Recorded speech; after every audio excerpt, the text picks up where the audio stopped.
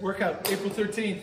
Um, it is just one parter today, right? It's a one part workout, um, conditioning based. So you've got an every three minute for 30 minute workout. So it's gonna end up being 10 rounds of what's written on the board, okay? Now you might, you might need to adjust these numbers a little bit. And what you're gonna end up doing is you're gonna kind of uh, use round one or that first three minute section as a little tester right? Um, to see if, hey, uh, for those additional nine rounds, if you need to make an adjustment um, so that we're getting the correct stimulus out of this workout. Now, so one round, so every three minutes, so just like an EMOM, but instead of every minute, it's gonna be every three minutes.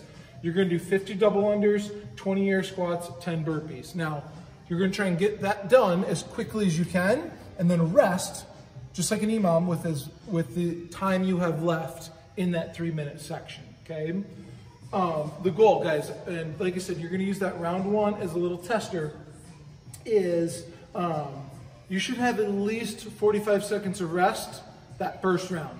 If you don't, if you get done with that first round and you've only got like 20 or 30 seconds of rest, or maybe even 35 seconds of rest, I would highly consider making a, an adjustment to either the double unders or the air squats so that we can get the correct stimulus and have rest each and every round. I do not want this to turn into a 30 minute AMRAP where it's just cycle, cycle, cycle for 30 minutes, okay? I want you to have rest every round, okay?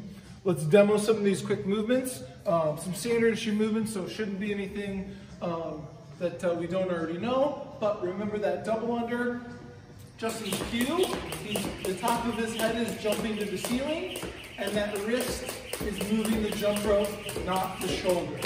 Okay? He's going to do 50 reps, right? If we don't have access to a jump rope or those double unders are a little too much for you, you can either do 100 single unders, right? Or you can do your penguin jumps. If you got to do these penguin taps, you're going to do 25 reps.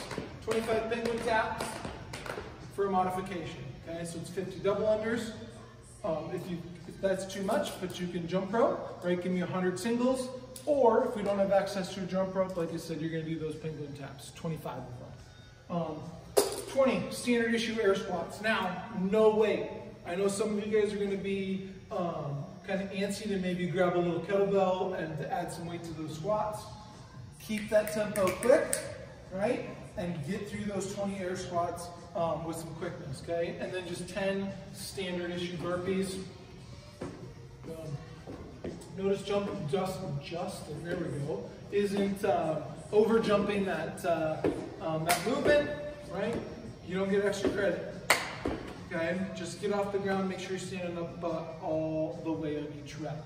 Like I said, if you need to, if after that first round, you do need to make some modifications, keep the burpees, um, 10, right? And then you can uh, modify the, uh, the, the double under number or the air squat number, okay? Hopefully this helps.